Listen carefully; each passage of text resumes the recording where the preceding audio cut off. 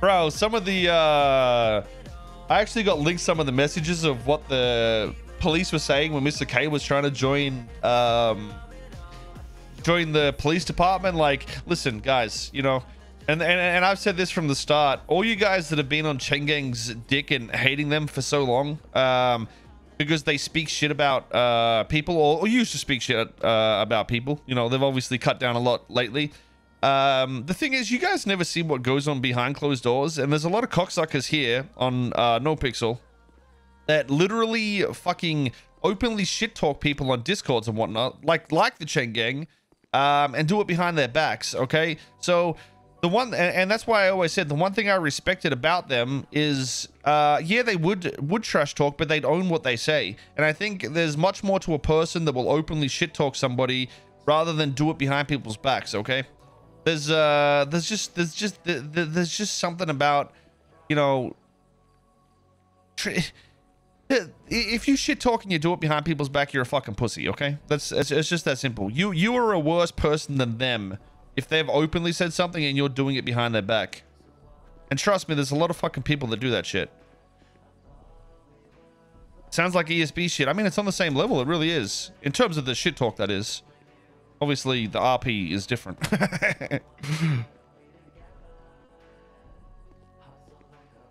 if you can't argue with somebody openly and um, still talk to them afterwards, they're not a friend or, or a colleague. They're... Um, you know, just just an ass, really.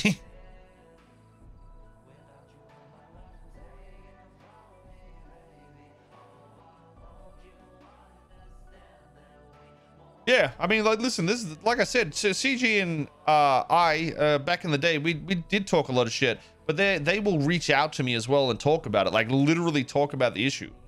So that's why I've always, um, you know, sort of respected that more than what other people will do. And and trust me, there's very few people that actually reach out and will chat to you about an issue rather than do ratty shit and talk behind your back. And that's why I appreciate Bass as well as a cop because or Crane uh, as a as a judge. If there's issues, they're DMing. They want to know what's up. They want to they want to try resolve that shit. And uh, yeah, there's a the, the, the, there's a reason why I want them in those spots as well. And and and them being there is a good thing, I think. A Popper's deal? A deal some lemonade, dude? Oh yeah, bro.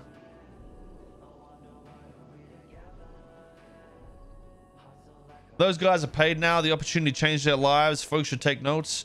Well, um, sure. They may. They listen. I'm not, I'm not saying they weren't assholes. Like, don't get me wrong. They were assholes here and there. Um, but like I said, uh, a lot of the people that were assholes too were assholes to them behind closed doors. You know what I mean? So, um, I I wouldn't like fucking as a human being be comfortable saying um they they they should be fucking removed from the server when other people are doing the same shit behind closed doors, which in my opinion is more toxic. Um, howdy is is more toxic uh than not because when you when you shit talk somebody behind closed doors and spread those fucking uh the, the, the those snake bites, um, that is way more toxic because it festers, right?